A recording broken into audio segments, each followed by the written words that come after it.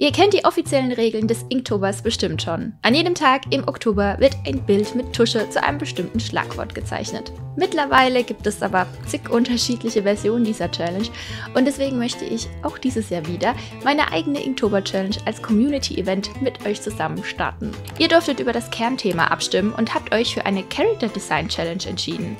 Wie die jetzt aber genau funktioniert, wie ihr mitmachen könnt und welche Extras ich für euch vorbereitet habe, das verrate ich euch jetzt. Vor kurzem habe ich ein Fanart gezeichnet, welche Sailor Moon als alternative Alltagsversion zeigt.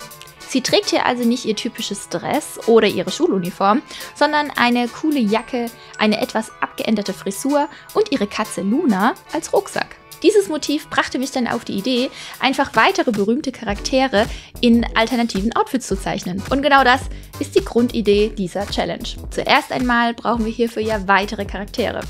Und damit das Ganze ein bisschen geordneter abläuft, habe ich quasi für jede Woche im Oktober eine andere Oberkategorie ausgewählt. Und die lauten für Woche 1 Anime, Manga bzw. Cartoon- und Comic-Charaktere. Für Woche 2 Charaktere aus dem Disney- und Pixar-Universum. In Woche 3 sind dann Fantasy- und Sci-Fi-Charaktere dran, diesmal dann aber aus Realverfilmungen oder Serien. Und für Woche 4 habe ich mir die Oberkategorie YouTuber und TikToker ausgesucht. Okay, jetzt haben wir die Charaktere. Aber was machen wir denn mit denen? Ja, dafür habe ich mir jetzt eine Liste gemacht mit 24 unterschiedlichen Aktionen, nennen wir es mal.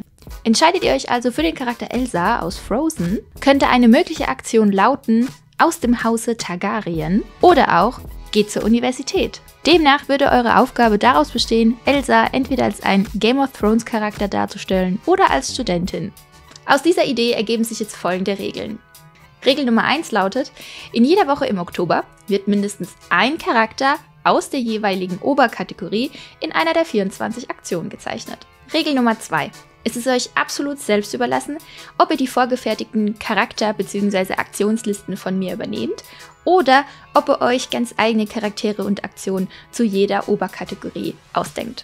Was dann kommt, ist ganz einfach. Ihr könnt sie euch nämlich zu Hause ausdrucken, ausschneiden und dann für jede Woche verschiedene Charakter- und Aktionskombinationen ziehen. Da könnt ihr natürlich den strengen Modus fahren und auch wirklich nur das zeichnen, was ihr gezogen habt. Oder ihr geht die Challenge einfach ein bisschen entspannter an und ja, zieht einfach so lange, bis ihr eine Kombination habt, die euch gefällt und euch inspiriert. Denkt bitte dran, bei meiner Challenge soll der Spaß im Vordergrund stehen und ich möchte auf gar keinen Fall Auslöser einer existenziellen Kunstkrise sein. Das führt mich übrigens zu Regel Nummer 3, denn auch der Grad der Ausarbeitung ist für die Challenge irrelevant. Egal ob Skizze, Outlines, voll ausgearbeitete Zeichnung, ein Character Sheet oder ein Kurzcomic. Es ist alles erlaubt. Natürlich dürft ihr auch so viele Charaktere zeichnen, wie ihr möchtet oder einen in ganz unterschiedlichen Aktionen. Ihr dürft Medien benutzen, die euch gefallen, die euch Spaß machen. Da möchte ich auch nichts vorgeben. Das Ganze möchte ich natürlich wie letztes Jahr auch als Community Challenge organisieren. Das heißt, ganz am Ende der Challenge möchte ich eure Beiträge in einem Video zusammentragen und der Community präsentieren. Mitmachen könnt ihr auf unterschiedliche Art und Weise.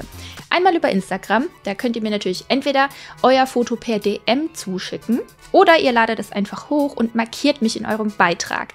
Achtet aber darauf, dass euer Profil dann auch auf öffentlich gestellt ist, sonst kann ich mir das nämlich nicht angucken. Aber Achtung, ich nutze für die YouTube-Inhalte in Zukunft ein anderes Instagram-Profil. Das, äh, ja, blende ich hier auch nochmal ganz dick ein.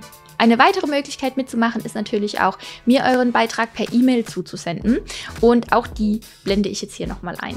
Bei dieser Challenge gibt es zwar nichts zu gewinnen, aber es wird einige Extras für euch geben. Und zwar werde ich alle Character Designs für eine begrenzte Zeit nach der Challenge als kostenlose Ausmalseite zur Verfügung stellen. Und nicht nur das, ich werde auch alle Posen, die ich für diese Challenge hier anfertige, für euch als eine Art Basis ja, zur freien Nutzung überlassen. Ihr könnt sie dann zum Abpausen oder Abzeichnen für eure eigenen Charaktere als Hilfestellung nutzen.